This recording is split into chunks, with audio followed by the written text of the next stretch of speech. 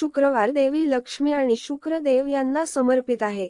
माता लक्ष्मीला संपत्ती आणि ऐश्वर्याची देवी म्हटले जाते तर शुक्राला भौतिक सुखांची स्वामी म्हटले जाते. या दोघांची कृपा राहिली तर जीवनात कशाचीही कमतरता भासत नाही. लाल किताबमध्ये कुंडलीत शुक्राचे स्थान मजबूत करण्यासाठी आणि देवी लक्ष्मीला प्रसन्न करण्यासाठी काही सिद्ध उपाय सांगण्यात आले आहेत.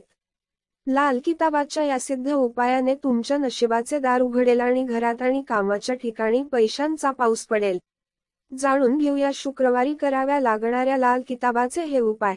जर तुम्ही आर्थिक समस्येने त्रस्त असाल आणि पैसे मिळविण्याचा कोणताही मार्ग सापडत नसेल तर एकवीस शुक्रवारपर्यंत महालक्ष्मीची पूजा करा आणि केशर असलेली खीर आणि साखर अर्पण करा.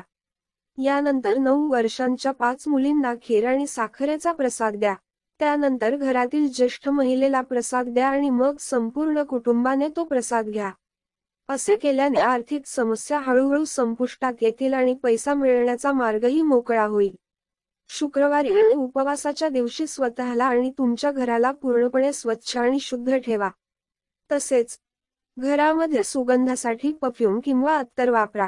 यानंतर महालक्ष्मीचे पूजन करा. लक्ष्मी मंदिरात अकरा कमळाची फुले अर्पण करा आणि नऊ वाती तुपाचा दिवा लावून प्रार्थना करा.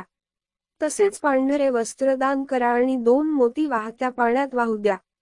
असे केल्याने तुमच्या पैशाशी संबंधित सर्व समस्या दूर होतील आणि सर्व कामे वेळेवर पूर्ण होतील.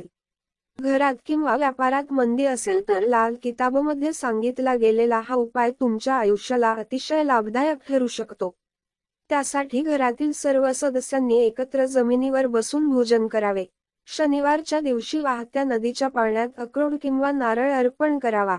असे केल्यास घरातील सदस्यांच्या आयुष्यात प्रगती होईल व प्रत्येक क्षेत्रात यशप्राप्ती होऊ लागेल. तसेच संकटांपासून मुक्तीही मिळेल.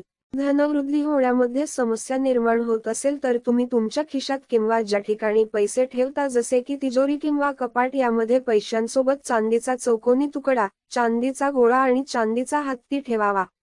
या सर्व गोष्टी तिथे ठेवण्यापूर्वी लक्ष्मी मातेजवळ ठेवून प्रार्थना करावी. असे केल्यास धनवृद्धी होते तसेच कुटुंबातील सदस्यांचीही प्रगती होते.